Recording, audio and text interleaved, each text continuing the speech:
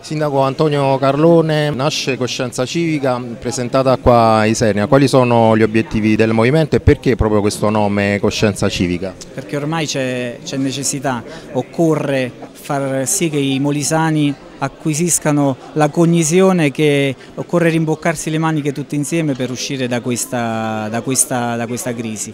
Per farlo occorre un nuovo movimento che parta dal basso, parta dai cittadini normali, dagli imprenditori, dai professionisti, dagli amministratori locali che hanno già avuto esperienze, che sono sul territorio e che sanno che cosa significa amministrare. Quindi ecco eh, il motivo per cui coscienza civica. Eh, nasciamo qui a Isernia perché Isernia è centro, eh, della, è uno dei centri dell'attuale maggiori per quanto riguarda la crisi eh, che attanaglia questa regione, è il centro più grande dove si andrà a elezioni e noi vorremmo essere presenti su questa, su questa città dei nostri, appoggiando dei nostri, dei nostri esponenti, non nascondendo anche la possibilità eventuale di presentare una lista con il nostro simbolo. Lei in conferenza stampa ha parlato di obiettivi a medio termine e a lungo termine, ce li può illustrare? Sì, allora innanzitutto partiamo da, dagli obiettivi immediati. Noi già da domani scenderemo sul territorio perché vogliamo sentire comune per comune quelle che sono le esigenze e quelle che sono le necessità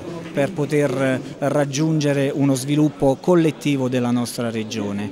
Eh, anche il nostro movimento non è un movimento definito nei, eh, nel suo organigramma perché proprio per questo andremo al primo congresso regionale ad ottobre e a questo congresso regionale nomineremo i rappresentanti, il coordinatore regionale, i coordinatori provinciali e otto coordinatori locali che saranno rappresentanti di altrettante aree della nostra regione Molise. Quindi vogliamo appunto stare sul, sul territorio. Gli obiettivi a medio termine ormai sono quelli delle prossime elezioni regionali. Noi vogliamo creare una proposta concreta, seria per, eh, per la regione Molise nel 2018 e siamo aperti dal, eh, ad accogliere gli interventi eh, di tutti. Sia ben inteso, non significa questo fare incetta di, eh, per raggiungere numeri che poi magari potrebbero essere anche i eh, creatori di un'eventuale crisi. No, noi siamo convinti che ognuno può fornire eh, delle indicazioni utili per questa regione e quindi saremo pronti ad ascoltare tutti,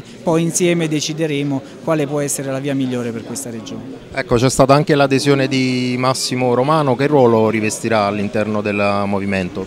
Massimo Romano è uno dei fondatori di questo movimento insieme ad altri a 20, a 20 persone, 20 persone che rappresentano un gruppo molto più nutrito e la conferenza stampa di stasera eh, ha, ha dimostrato che c'erano tante persone eh, in più oltre ai nostri 20, eh, ai 20 fondatori. Eh, è una persona che ha sempre dato tanto a questa regione Molise, eh, sia da consigliere regionale che da avvocato, prendendo le difese di tanti cittadini che hanno eh, manifestato il loro malessere per determinate situazioni. Certamente Massimo Romano si colloca al pari di qualsiasi altro eh, esponente di questo movimento come una persona che potrà dare tanto a, questo, eh, a coscienza civica.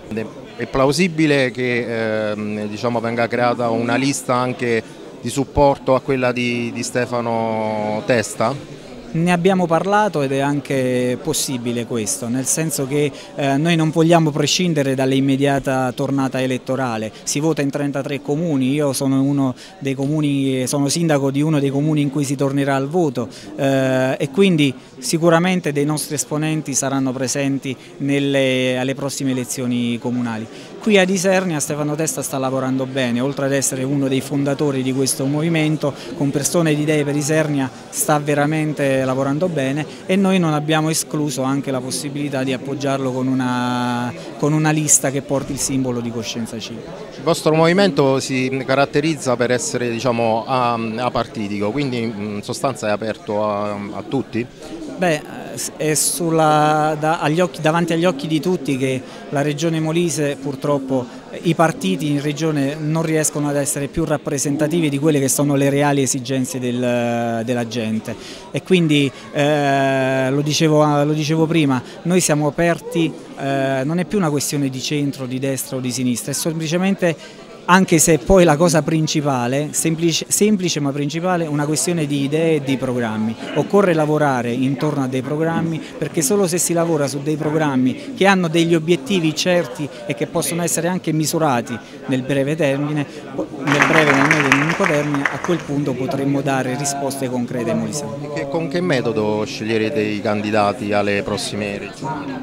Alle prossime regionali non ci siamo ancora dati il metodo, nel senso che, come dicevo prima, noi avremo un primo congresso che è quello di ottobre, in cui andremo a creare gli organi politici del movimento. In quel momento la direzione politica avrà ancora il tempo, appunto due anni, soprattutto per andare sul territorio con i nostri esponenti a capire quelle che sono le esigenze. In base a quelle esigenze si troveranno gli uomini, ma anche e soprattutto le donne giuste per poter rappresentare coscienza civica in regione. 嗯